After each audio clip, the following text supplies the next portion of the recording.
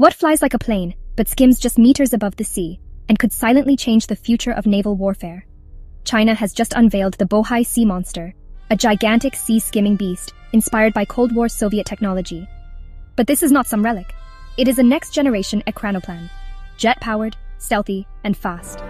It uses ground effect to hover just above the ocean, dodging radar, carrying troops, weapons, or even vehicles at the speed of an aircraft.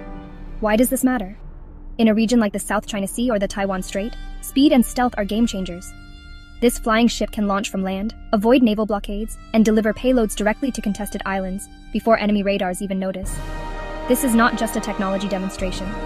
It is China signaling that it is ready to reshape naval strategy without using a single conventional warship. But here's the big question. If India had to counter such a machine, should we build our own Ekranoplan or develop technology to take it down? Drop your thoughts in the comments. I will give a heart to the best ones. If you love science and want India to lead the future, subscribe to SciX24 right now. Credits. Script by SciX24 team.